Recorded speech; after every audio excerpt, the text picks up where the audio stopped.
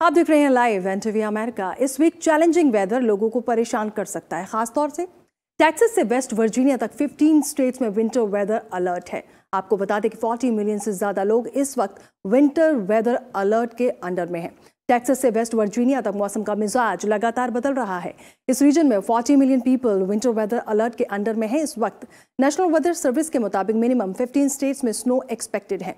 Central Texas south west Oklahoma central Arkansas और western Tennessee में freezing condition की possibility पूरी तरीके से जताई जा रही है। इसके अलावा सेंट्रल टेक्सास और आकांसा नेक्स्ट थ्री डेज़ यहाँ पर स्नोफॉल भी हो सकता है।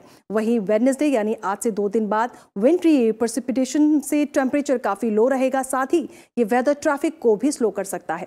ईस्टर्न टेक्सास से नॉर्थ वेस्ट ल्यूजियाना तक एक्सेसिव रेनफॉल और फ्लैश फ्लडिंग के भी पूरे पूरे चांसेस हैं ओवरऑल वेदर फोरकास्ट को देखते हुए वेदर डिपार्टमेंट ने लोगों को लॉन्ग ड्राइव से बचने की सलाह दी है।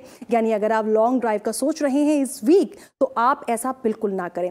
और ज़रूरी हो तभी घर से बाहर निकलें और स्पीड को लेकर भी यहाँ पर अलर्ट जारी किया गया है।